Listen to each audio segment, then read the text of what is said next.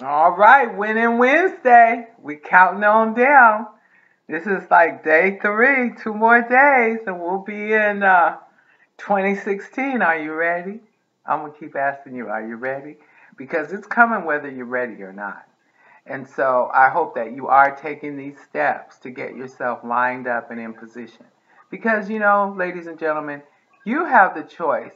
Your life, whether you want to admit it or not, is a sum total of your thoughts and decisions in regarding to life. It doesn't have anything to do with your circumstances or necessarily really your experiences, but your reaction to life and what it gives to you. So today, not necessarily any homework, but I want you to really think on what does success look like to you? Yesterday, I defined it as Earl Nightingale does is success is the one that is progressively realizing a worthwhile idea. Or, in other words, a person that sets out to do a predetermined job and gets it done. So, what does success look like for you? Now, a few years ago, success looked like for me, for those that don't know my story, is I was in the legal arena for 34 years and the real estate for 10. My health failed, and um, I'm rebuilding now. I'm a business owner, and um, I'm still aggressively, aggressively, progressively. You, you feeling me? I am aggressively, progressively realizing a worthwhile ideal. Because, you know, ladies and gentlemen, if you just sit back and conform and just settle, then, you know, you're really kind of letting life live you.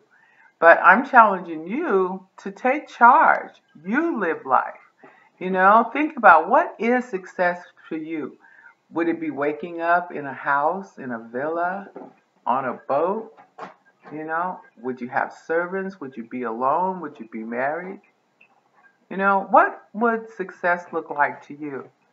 So, you know, you need to get that really clear. And if you notice, you see I left my vision board up here because I hope that you are actually have your vision board um, down somewhere on a piece of paper or online so that you can readily look at it because what you think about, you know, it'll become so knit with emotion to where you actually believe it that it's real and just it's just a law, a principle, you will attain it. And so make sure that your your goals, you know, don't overload yourself, but we're going to make some hefty goals and then we'll chunk them down into smaller steps. But your number one homework is to figure out what success looks like for you and what is your goal? And then you're going to email me, stop over at PartnerwithJayTee.com. You're going to email me for an appointment, and we're going to sit down together and assess your skill set and decide what together what would be best for you to do in 2016. Because ladies and gentlemen, especially if you're 50 plus, you are a urn of wisdom and the world is waiting Matter of fact, the world will pay you for sharing that valuable information because you are uniquely and authentically, and I'm going to be preaching in a minute, but you are wonderfully and magnificently made in the Creator's image. And you too can create. So don't let go of that imagination, but think, you know, what does success look like? Where would I be? What would I do? What is it? What are the different smells? What are the sounds? You know, take some time and do that, you know, after your meditation so that you can really have it at the forefront of your mind, in which case it'll be at the forefront of your life. And before you know it, you'll have it manifest.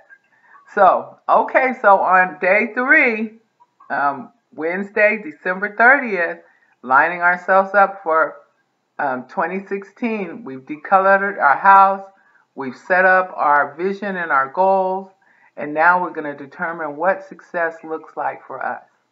And so I'll see you by tomorrow, God's grace, and we'll discuss the the last and final steps to take before we enter 2016. If you enjoyed this, thanks for watching. I want you to subscribe for more and definitely come back for the remainder of the series. And if you did enjoy it, share it with someone else.